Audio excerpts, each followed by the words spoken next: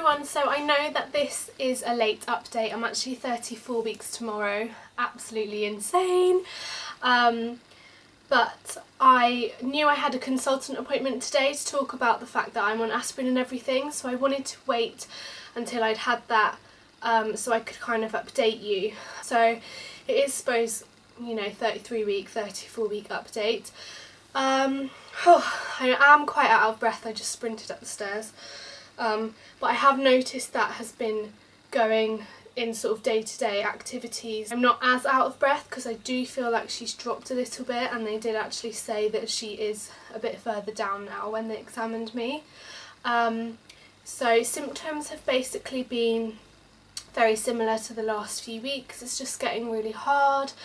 Um, I'm having um, a lot of backache, a lot of sort of period pains. Um, feels quite sore to walk with the SPD but it's not too bad at the moment. I'm sort of managing it.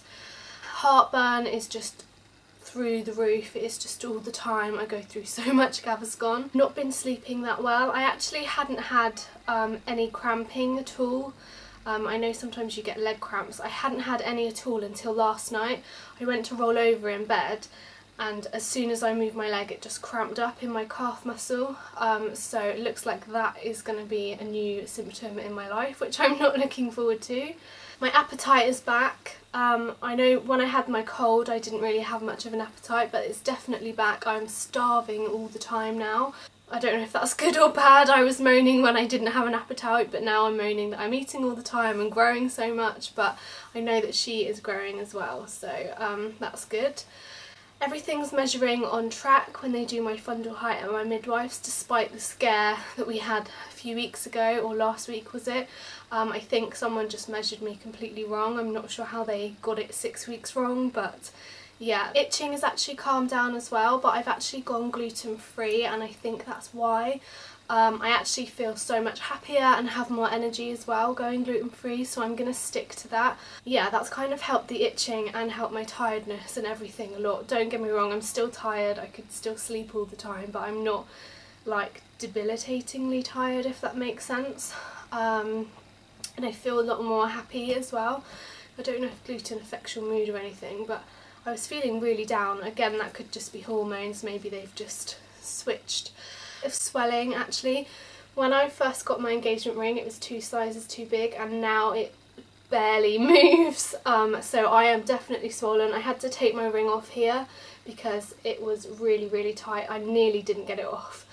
Um, so yeah I'm definitely swelling a little bit but it's nothing too much although I do feel like my face is just really puffy which is horrible but never mind I am pregnant that's it in terms of sort of symptoms and I'm going to tell you a little bit of an embarrassing story which I wasn't going to share but it's quite funny when you look back at it and I think again it's a normal sort of pregnancy problem. Um, so I have been noticing that I have been leaking a little bit and obviously I thought it was just weak pelvic floor muscles and everything so I've been using my Lights by Tena and everything but then I was at my friend's house yesterday and I had just been for a wee, came downstairs, I sat on the sofa and I felt like a gush and it was quite a lot, like three to four tablespoons of liquid. It was clear because I went back up to sort of sort myself out. It was clear liquid, it was just like water, it didn't smell like wee at all and I thought my waters had gone. I was really sure that that was what my instinct was telling me and I kind of panicked a little bit um, and yeah my underwear was soaked. I had to change them. I had to come home and change them. I rang the labour ward and she wasn't sure what it was either so she said to go in to get checked. Um, I didn't actually get in until this happened about half 11 in the morning um, and I stayed at my friend's for a little bit kind of talking to her about what I should do if she thinks it's my waters and blah blah blah um, and then I came home and I actually put Sienna down for a nap because I'm just going to see if any more leaks out or anything but I didn't have anything else. Um, but I decided to ring the labour ward anyway just in case and she said to go in. That was about half past two but we didn't actually get in until about half five because I had to sort out Sienna and everything because they're not allowed on the labour ward children. Um, So yeah, I didn't get checked until about half five and they checked my cervix and everything and it was closed. Closed, there was no like sign any waters were leaking or anything um, but they did a swab to check for infection as well.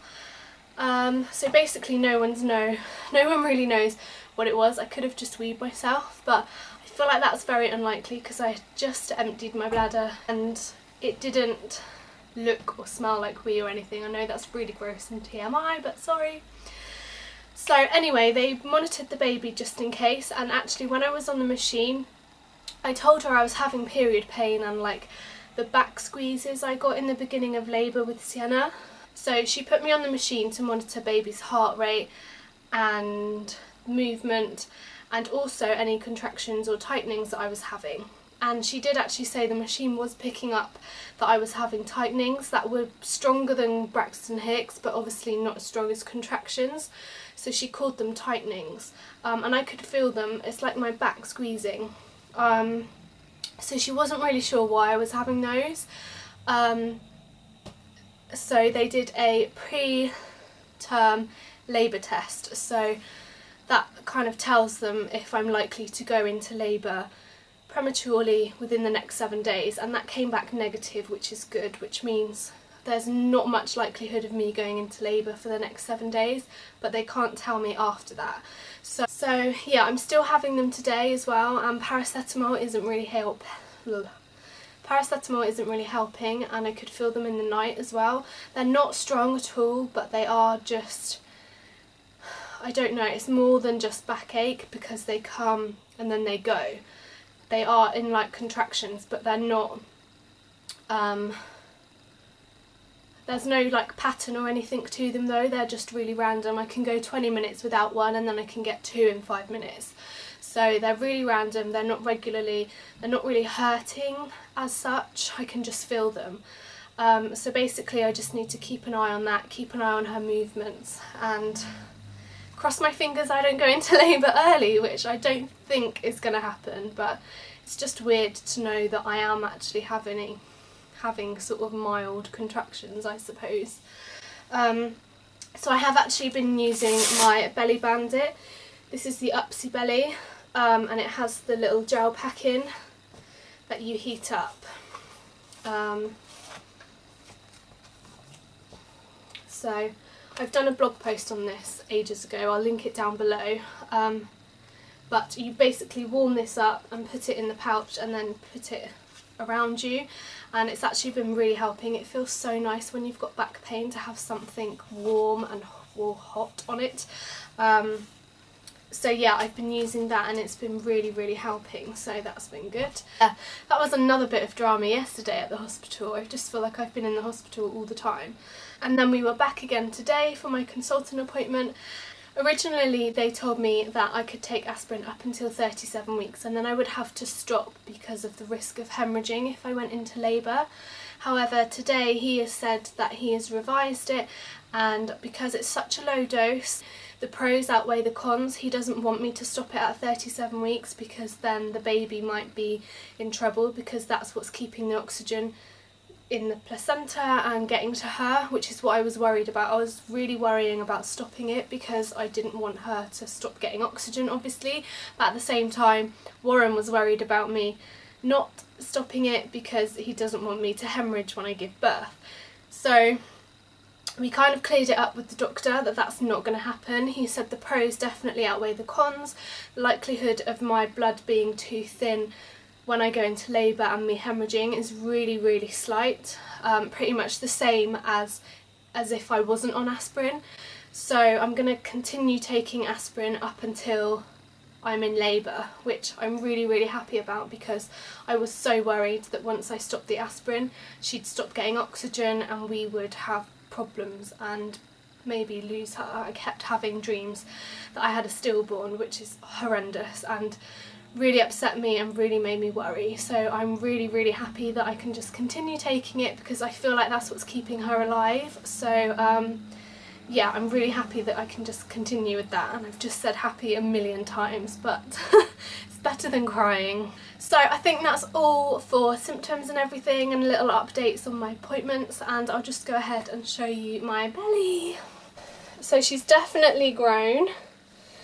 Um, so this is, like I said, I'm 34 weeks tomorrow. And I do feel like she's dropped a little bit.